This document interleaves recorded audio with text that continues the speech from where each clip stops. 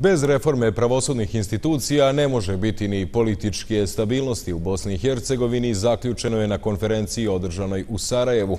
Učesnicima je prezentovan i izveštaj parlamentarne istražne komisije za utvrđivanje stanja u pravosuđu. Bezbjednostna strategija BiH mora da bude borba protiv korupcije i vladavina prava. Učesnici konferencije tvrde da su organizovani kriminali visoka korupcija najveći bezbjednostni rizici u BiH, tada je uočena ozbiljna povezanost BiH političara i nosilaca pravosudnih funkcija. Reforma pravosuđa nije neophodna samo iz tehničkih i pravnih razloga, već zbog toga što je ta reforma uslov za otpornost Bosne i Hercegovine. Slabe institucije i ukorijenjena korupcija mogu postati izvor nestabilnosti i značajan bezbjedonosni rizik. Skoro da ne postoje slučajevi visoke korupcije koji su procesuirani. Svi želimo da vidimo reformisane BiH institucije kako bi BiH napredovala na evropskom putu i ispunila uslove za zatvaranje kancelarije visokog predstavnika.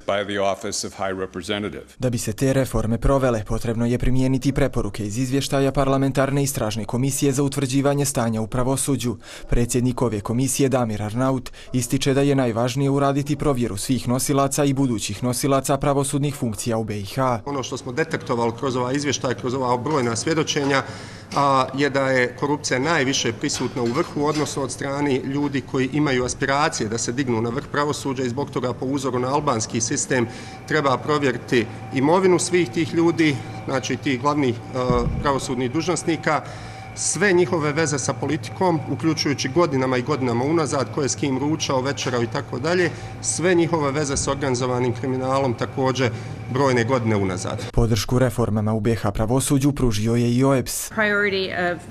Prioritet je reforma Visokog sudskog i tužilačkog savjeta jer je to tijelo koje ne samo da imenuje sudije i tužioce, nego i nadgleda pravosudni sistem. Zbog toga pozdravljamo rad ove komisije i njihov izvještaj koji je ključan za uspostavljanje vladavine prava u zemlji. Da bi reforme počele, potrebno je da izvještaj komisije usvoji oba doma parlamenta BiH. Ne sumnjam da će u predstavničkom dobu izvještaj dobiti podršku, ali ćemo vidjeti u domu naroda ko je za reformistanu, za efikasno, za narodno pravosuđe, a ko je za pravosuđe zarobljeno u tim nekim političko-tajkunskim elitama. Borenović zaključuje da je izvještaj o stanju u pravosuđu, čak i ako ne prođe na Domu naroda, početak istinskog parlamentarnog nadzora nad radom BH institucija i temelj za buduće djelovanje u borbi protiv visoke korupcije.